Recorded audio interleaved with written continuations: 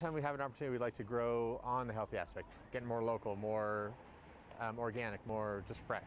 But being part of WOW, the owners are now looking to make some new menu changes starting in February. We're looking more towards a little cleaner eating, so taking away some of the grains, some of the dairy, um, some of the proteins even, uh, steering it a little more towards vegan. WOW also promotes healthier options for kids too, adding extra fruits and veggies to the menu while reducing sugar sweetened drinks and fried foods. Easy to do for another participating restaurant.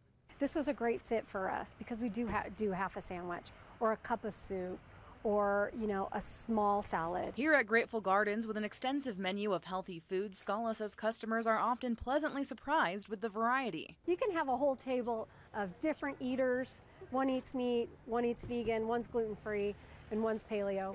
You got something for everybody. Restaurants will have this sticker on display showing their participation. If you're interested or just curious to learn more about WOW, all you have to do is speak up. They say, I'm interested in the WOW program, and can you show me what's available on your menu?